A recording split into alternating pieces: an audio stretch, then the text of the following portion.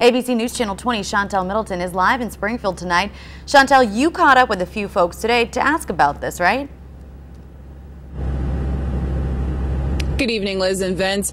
We came here to Southeast High School just as school was letting out for the day, and we spoke with parents. Listen, the district has had some disappointing turnouts at some of these early superintendent search meetings, including one that had about a dozen people in it. So now, with about two candidates, the district would like to see more parents involved. But will they see that? We asked parents today. 3:17 p.m. Class lets out at Southeast High. Buses line up in the back, parents in the front. We walk right up to them and ask. Uh, There's a superintendent search meeting on Wednesday. Do you think that you'll go to it? No, probably not. Tell me a little bit about why you won't go. I don't know nothing about superintendent.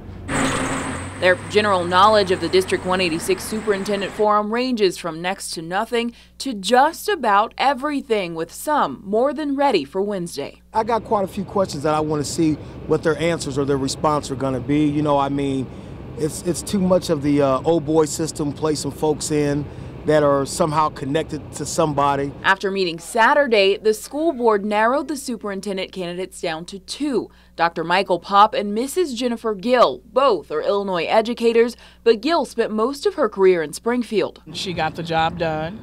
She, you were able to talk to her. She communicated very well and I really liked her as a principal. She was very good with the parents. With the last superintendent leaving under a cloud of controversy, Gill's experience in the district could work for and against her. My thing is, if she's been here in the district, I mean, and for how long did she work and who was she connected to in the district? With a final decision now just days away, District Representative Nalo Mitchell says this. It's very important to not only have our parents involved, but have them engaged as well as the community. Your voice, she says, will have a major say in who gets the job. In addition to posts on Facebook, calls from the district office went out to parents today, reminding them of that meeting on Wednesday. Now, if your email address is on file, you can expect a little note from them there as well. Live in Springfield, Shantel Middleton, ABC News Channel 20. Thank you, Shantel. We've got a link at our website where you can take a look at the resumes of the two finalists. The forum again Wednesday at 5:30 p.m.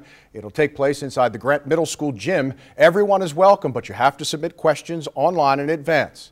All you have to do is go to our website, wics.com, for the link.